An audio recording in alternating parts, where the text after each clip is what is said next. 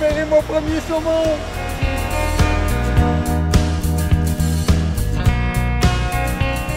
Un grill! Il se souvenait plus du nom, mais il m'a dit ça t'en prend une comme ça. Mais il avait raison. Le saumon de l'Atlantique en Gaspésie, c'est dans l'appel de la forêt.